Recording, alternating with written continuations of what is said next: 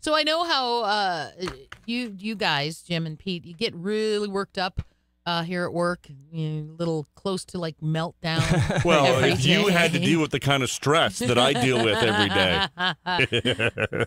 I'm here to help, Okay. as always.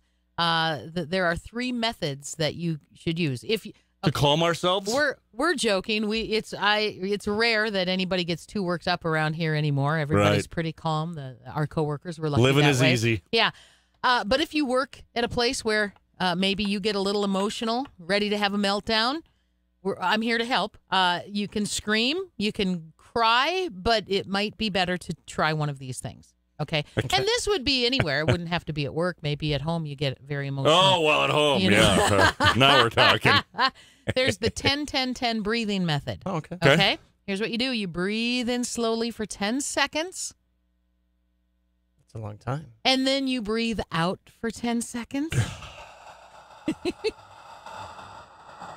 that's a long time. And then you repeat it 10 times.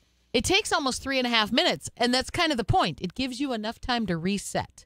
So just breathe in so 10 seconds, right breathe out 10 seconds, do it 10 times. makes Next time you sense. get, Oh, yeah. yeah. next time you get all worked up. Oh, yeah.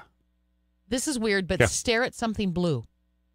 Hmm. Studies have shown that looking at the color blue or touching something that's blue can have a calming effect. Touching something. That's Pos- well, be careful. Uh, possibly because it reminds us of water.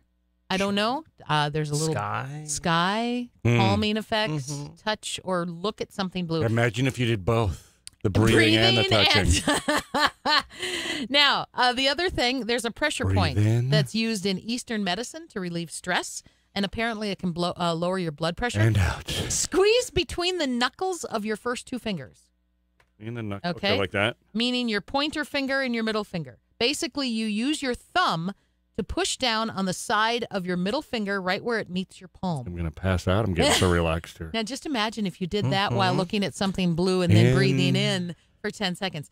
Those three things are And supposed out. to take that craziness away. Well, I don't know about craziness, but if you're about to have an emotional meltdown, try In one or all three of those things. and out. It's a, hard- it'd be a lot to do at one time. It I would be a lot to do at one You're time. but stressing me out just trying know- to make me think of all these things. if somebody's really stressing you out and you can't like do the breathe thing or look at something blue in front of them, just try the fing the finger. just try Uh, the, the finger. finger thing. When I get Yeah, overly that'll stressed work out at someone, I, the finger works pretty Finger well. Works pretty well. the pressure point. And now, Deep Thoughts with Cindy. Uh, exactly on right. 98.1, Minnesota's new country. Stop.